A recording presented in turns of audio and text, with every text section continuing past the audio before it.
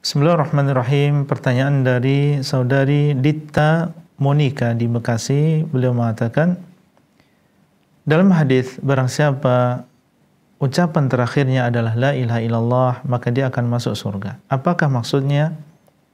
Ia sama sekali tidak akan diadab di neraka dan langsung masuk surga.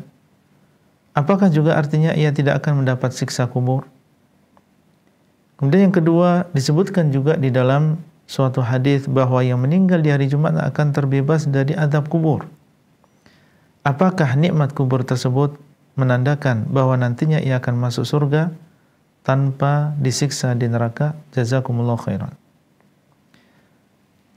Sabda Nabi sallallahu alaihi wasallam, "Man kana akhiru kalamihi la ilaha illallah, dakhala jannah." Barang siapa yang ucapan terakhirnya adalah La ilaha illallah, dia akan masuk surga. Artinya dia husnul khatimah. Dia menutup hidupnya dengan kalimat tauhid. Meninggal dalam keadaan Islam.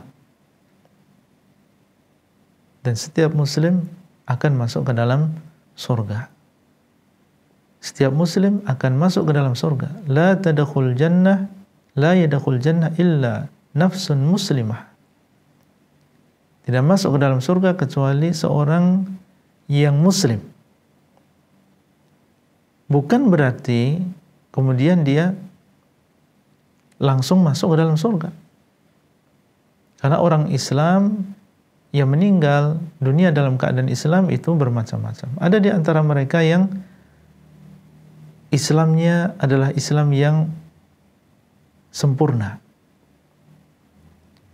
Ada di antara mereka yang Islam tetapi masih banyak dosa dan juga maksiat. Kurang Islamnya. Dan semuanya adalah muslim. Apakah Allah samakan di antara dua golongan ini? Tentunya tidak. Orang yang Islamnya sempurna, dia menyerahkan dirinya kepada Allah dengan sebenar-benarnya. Dia bertauhid, dan dia mengikuti sunnah Nabi Shallallahu Alaihi Wasallam, tidak melakukan bid'ah di dalam agama.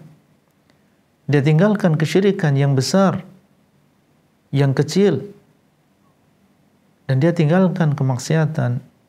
Dia istiqomah di atas ketaatan kepada Allah. Tentunya berbeda dengan seorang Muslim yang dia masih mungkin masih ria, ya masih mengucapkan ucapan yang itu adalah termasuk syirik kecil, atau dia masih melakukan berbagai bid'ah atau berbagai kemaksiatan.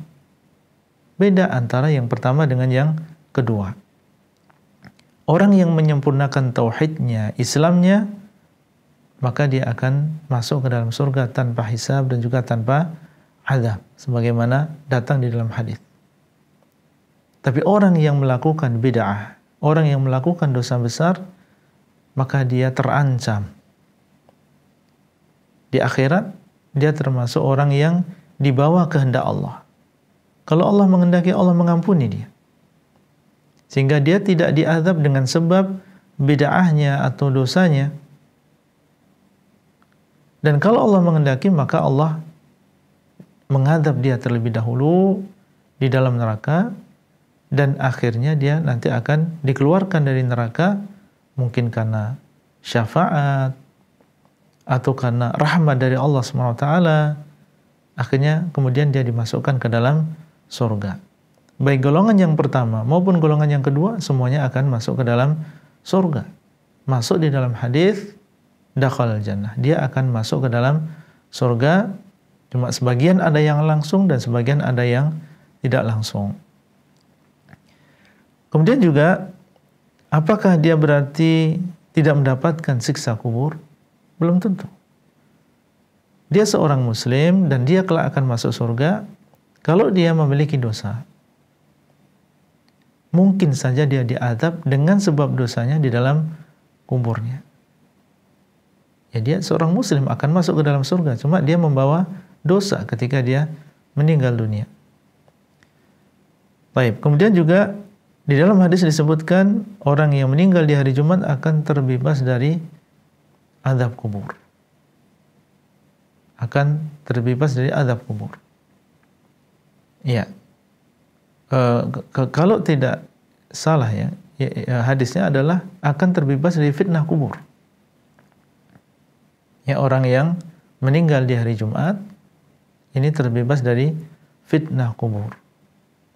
Ya, uh, mungkin bisa dicek lagi tentang hadisnya. Seandainya ini yang dimaksud.